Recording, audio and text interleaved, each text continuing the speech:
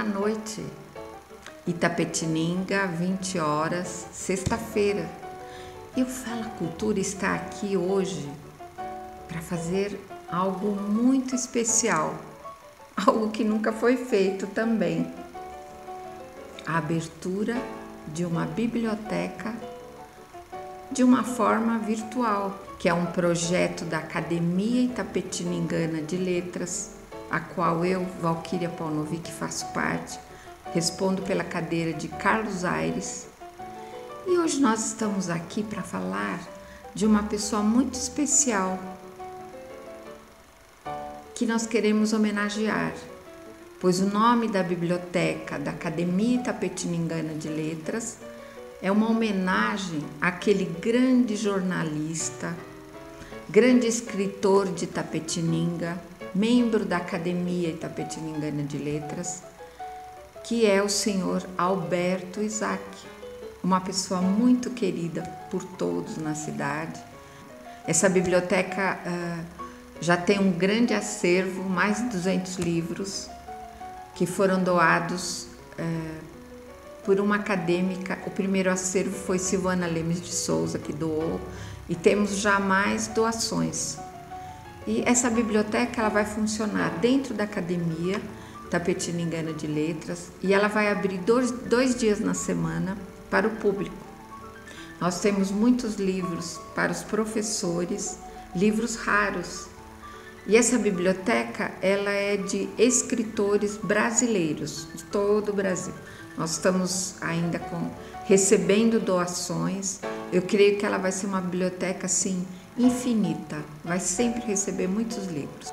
Mas nós queremos deixar aqui assim um grande abraço a Alberto Isaac, em nome de todos os membros da Academia Itapetiningana de Letras, né?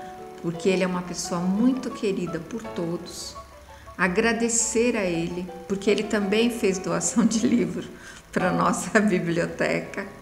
Hoje o Fala Cultura está assim, fazendo algo diferente. 2020, nós estamos aqui abrindo virtualmente a biblioteca da Academia Tapetiningana de Letras, que é a Biblioteca Alberto Isaac, com um grande acervo de livros de escritores este livro aqui, ele é meio que uma bíblia para mim, o, Viva as Memórias do Alberto Isaac. Desde que eu cheguei a Itapetininga, há 25 anos atrás, eu faço alguns trabalhos de curadoria, né? E sempre que eu vou fazer um trabalho, eu uso ele para pesquisas, porque aqui tem muito a história de Itapetininga. E eu faço uso sempre desse livro, porque como eu vim de São Paulo, eu acho importante sempre a gente saber a história do lugar. E é o que eu faço. Procuro pesquisar em todos os livros da cidade, qualquer trabalho que eu vou fazer sobre curadoria, né, sobre mostra de artes, como eu fiz a mostra da catedral, eu procuro pesquisar.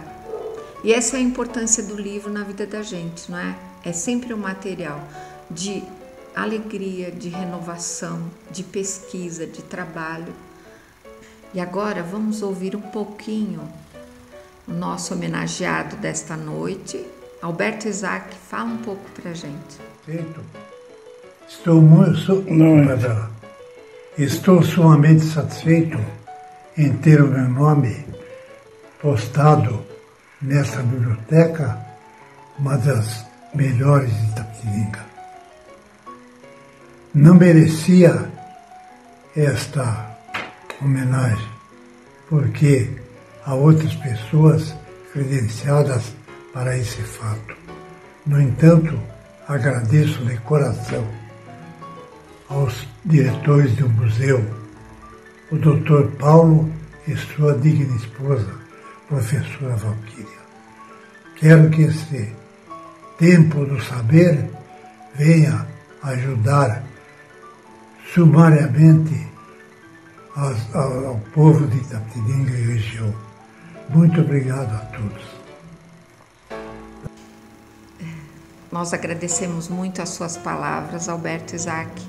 É uma honra para a gente ter você aqui falando um pouco da biblioteca, né? Que leva o seu nome. muito obrigado.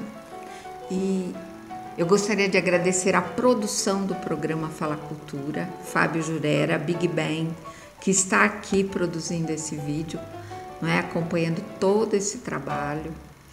E assim, eu gostaria de agradecer a todos os acadêmicos, a todos que têm doado livros para o acervo desta biblioteca.